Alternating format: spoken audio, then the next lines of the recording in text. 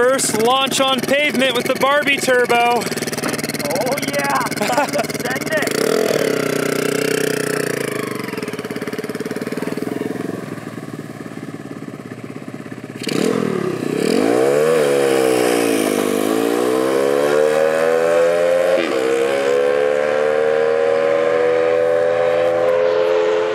I'm just guessing here, but I'm gonna go ahead and say that that's faster.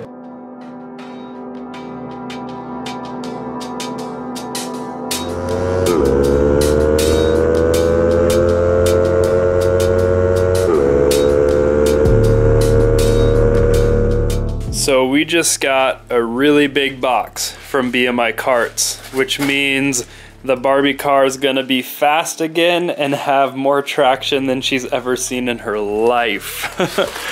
Yeah, and maybe be a little bit more controllable. oh yeah. We got some shiny, super lightweight aluminum wheels. Those that's the front, so you can see how much wider that's going to be than what was on there. New rear wheels. Oh yeah. Gonna have maybe too much traction now. It's like early Christmas. Really early Christmas. yeah. No, it's it's birthday. It was your birthday just two days ago. There's a new re- a rear hub because it's a totally different mounting system for these wheels. So it's just a keyed hub. Very cool. On the axle we have. Compared to that, that's twice as wide at least. Finally. Some traction up Yeah. I'm sure you guys have noticed that Barbie car has about two inch wide front tires. It's not adequate. Man, if only we'd had these for the beach, it would have been so much better. oh yeah, these things like literally we can't even turn. Yeah, and they're pretty close. They're just a little bit larger in diameter, so we might have to redo our fenders. But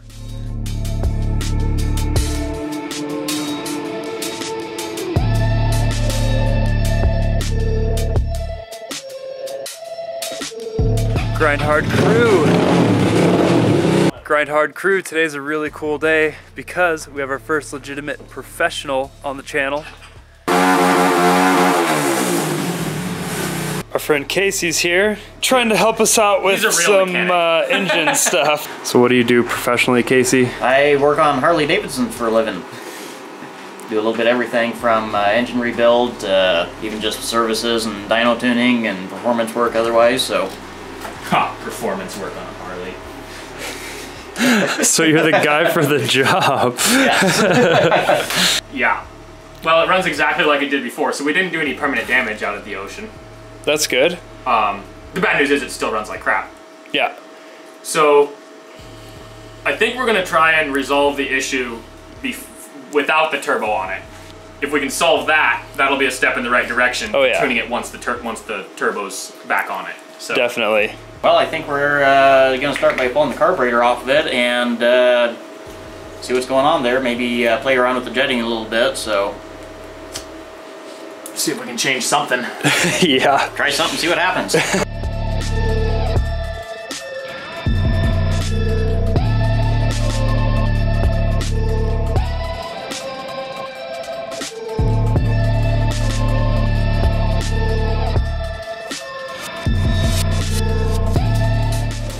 So you drilled out the jet bigger and it got worse? yeah, so we're going to try and go in the other direction, just trying to make sure this is as clean as we can get it so the solder will take to it.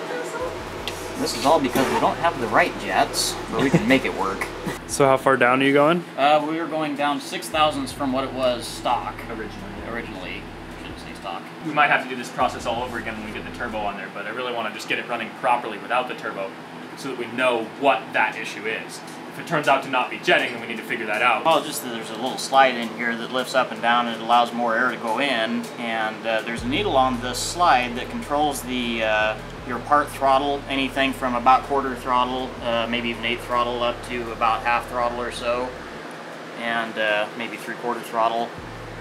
And uh, it uh, controls the amount of fuel that goes into the carburetor. So what we're doing now is we're lifting this needle a little bit um, to help the, uh, the mid-range uh, power a little bit. There was a little bit of a stumble when we opened the throttle uh, real quickly, and this should help some of that. So So we got a carton of almond milk here with this suspiciously sized hole in it. I don't have any proper gasket materials, so we're gonna see if this works.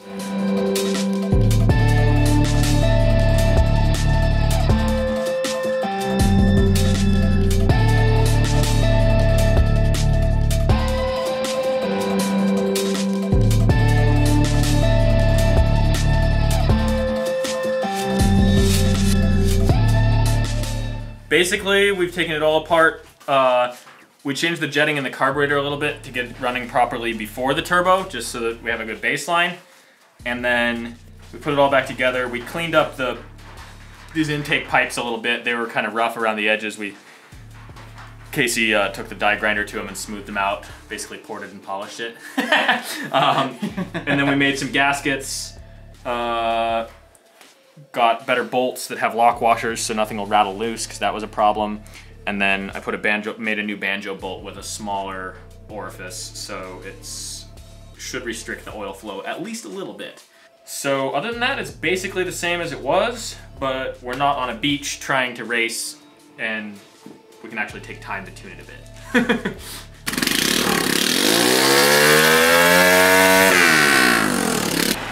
Nothing's blown up yet. It revved pretty decently.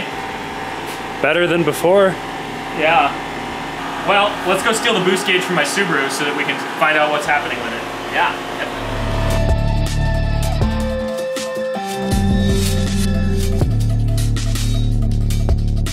It's pretty funny taking a boost gauge from a perfectly fine car to use in a Barbie car, though. Yeah. look how, look how perfectly it fits in there. Awesome. Flawless.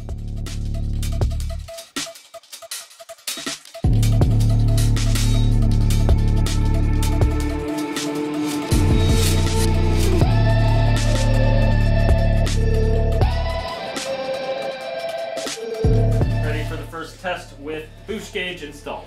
Oh yeah.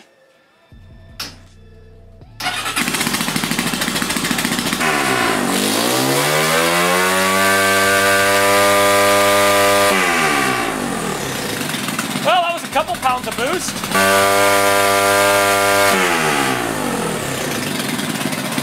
I mean, for free revving, Yeah, it'd make more under load, right? yeah, it should make more boost under load. Well, I guess we clear out some space and do another uh, North Idaho dyno tuning. All right, we got our North Idaho dyno set up.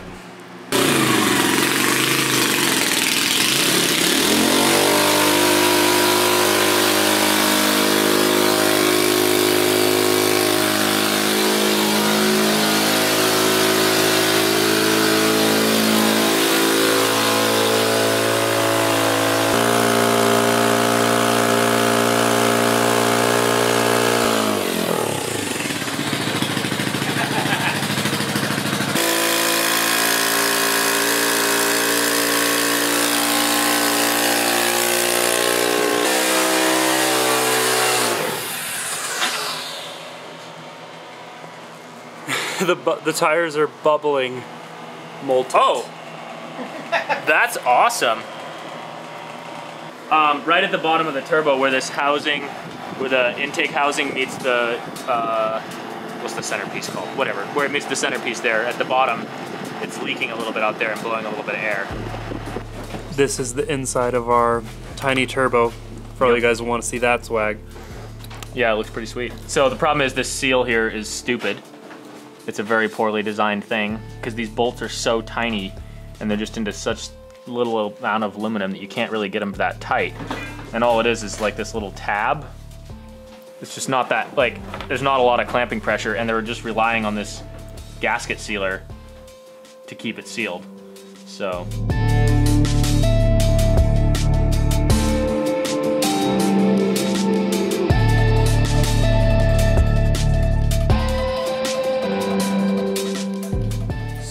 Are ready to test the turbo again. We found a little tiny O-ring, well not that tiny, but an O-ring that we stretched out to like its maximum stretch and got it around the uh, thing here and stuck it in there. We're thinking that might seal a lot better than uh, the gasket sealer. but-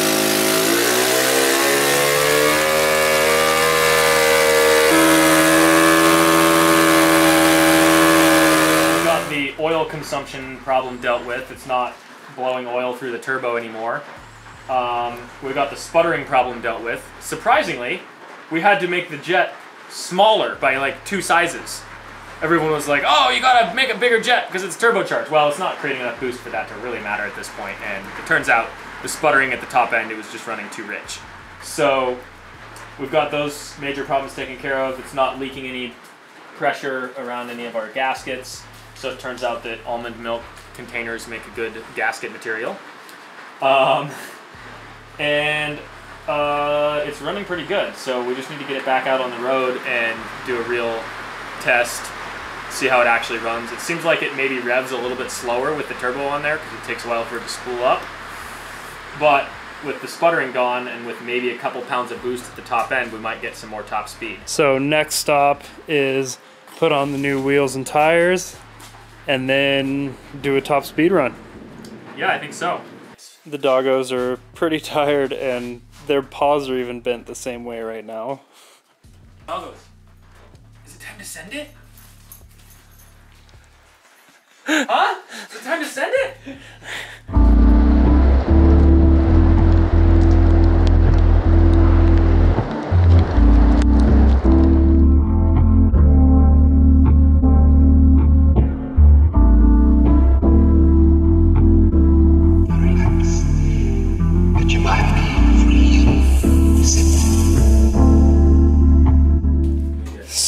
So Ethan finally got these uh, tires beaded. What did that take? Well, I kind of thought maybe I was gonna blow my head off, but I didn't. so you read some forms. What did the forms say? Um, people were saying it takes up to 135 psi to seat the beads on these things, which is insane. Um, and uh, most people were saying they used a tire ring, which is like a big piece of sheet metal that wraps around the tire with a bolt to clamp it tight to probably, you know, avoid it exploding.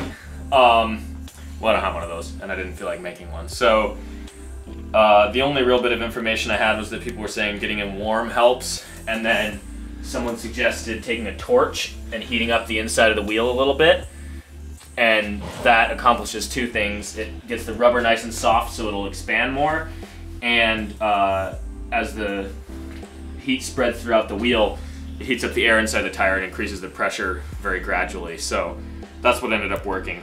Um, it was still kind of scary because I put a torch to a tire with over 100 psi in it. Yeah. Uh, but it did eventually go boop and squirt out a bunch of uh, WD 40 that was in there to lube it up. There you go. So the plan is mount these bad boys, take Barbie to the streets, and try to hit a new top speed run now that the turbo's running right before it gets dark. And right now it looks like uh, that.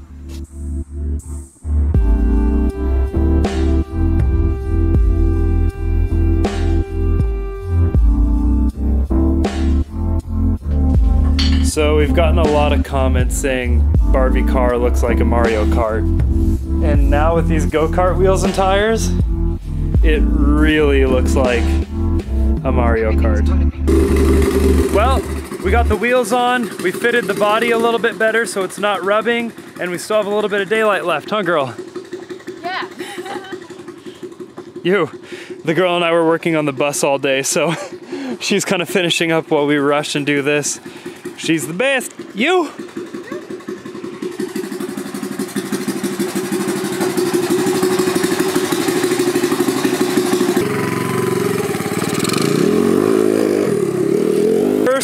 On pavement with the Barbie turbo. Oh yeah, send it.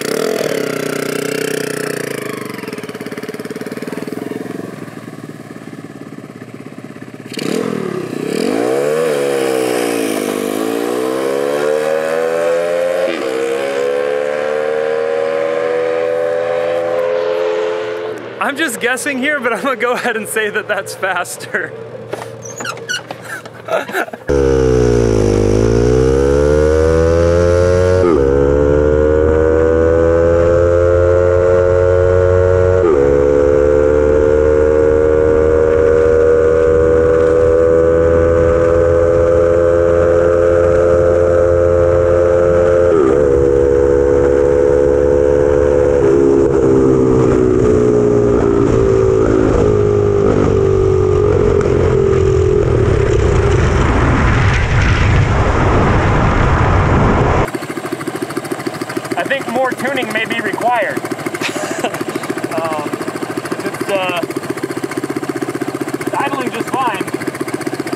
I have a hunch about is the turbo spool's really good right now. Like you can really hear it. Like.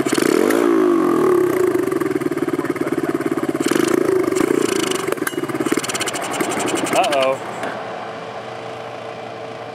Something sounded pingy. Yeah. Shoot. Well, I don't know what's going on, but we're done for today. Oh yeah.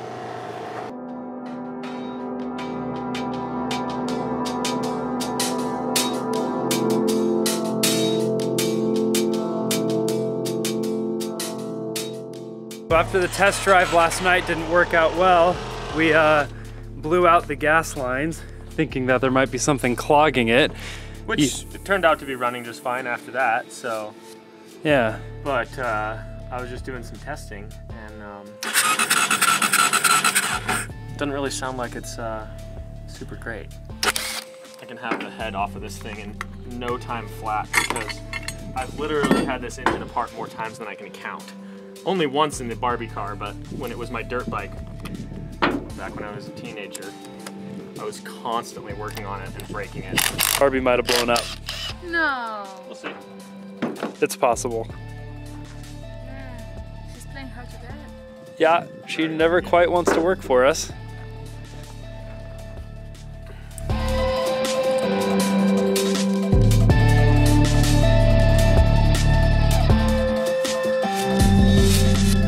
See that right there? Yep.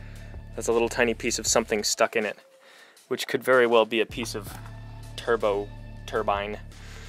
All the rings are still intact. The ring land top is not broken. Yeah, that part's all good. That's gotta be a piece of the turbo, huh? Probably, but you never know.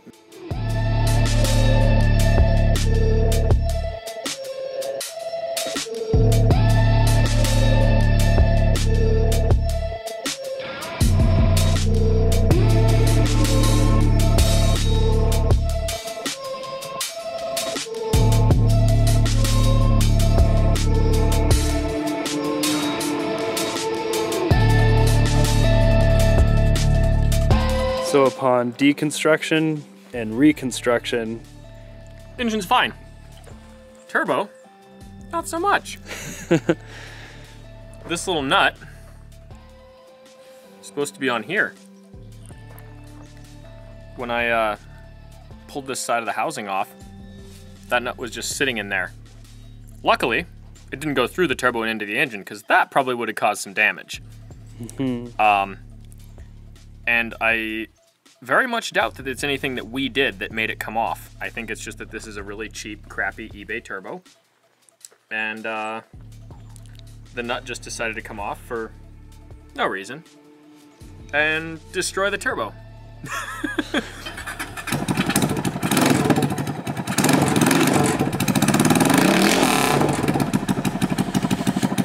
it's loud.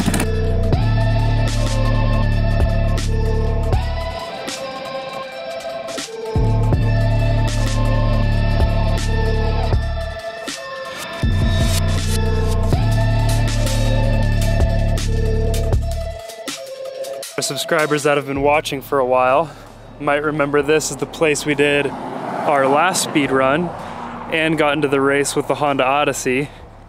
But this time we're expecting to put down a much higher top speed. We're hoping anyway. Yeah, we got 70 last time, 69. Uh, 72 was Yeah. our absolute top speed. Mm-hmm. Um, so there's a few things that should allow us to get a better top speed this time. One being um, better tires, so it's not terrifying.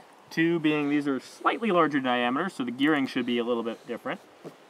And three being it's actually running right, hopefully.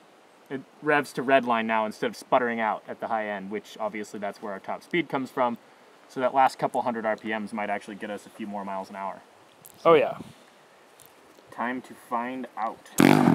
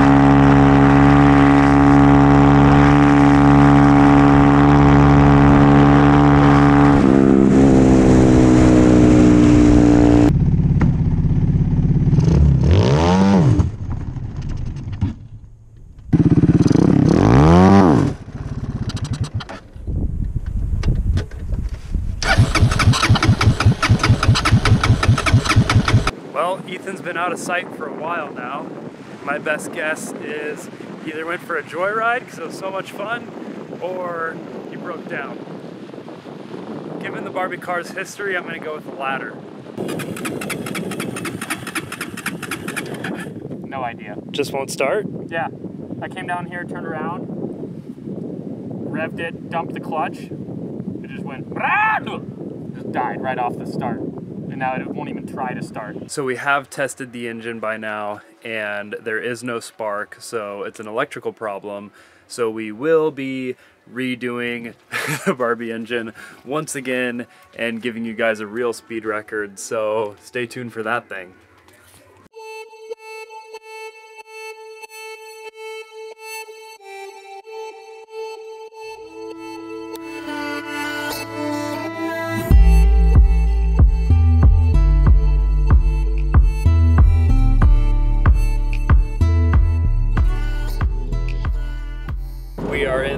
In the Westfalia, headed to Spine Cop, which is one of the sweetest outlooks in North Idaho, I reckon. And it's got a pretty fun road to get there too. Yeah. And with our friends Michael and Emily, and they're in the Jeep. know everything.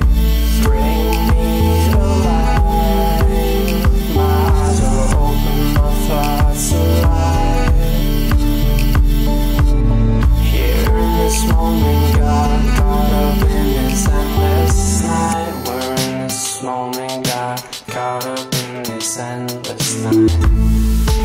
Well,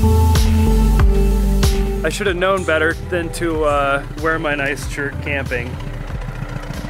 It's the girl's first time at Spine Cop. I'll show you, girl.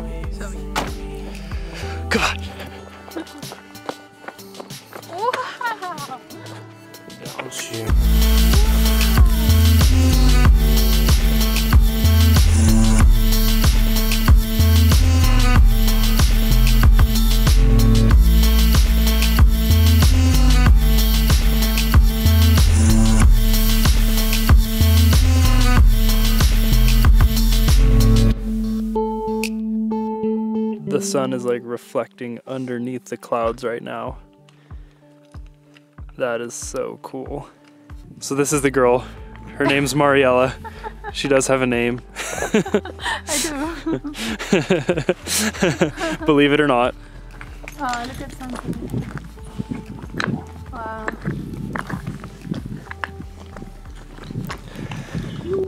I've been trying to bring her here for like a year. Yeah.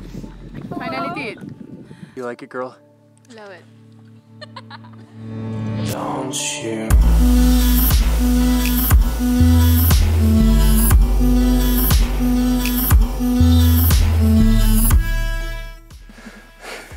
Wesley's in camper mode. the girl's in sleep mode. and we are out of propane.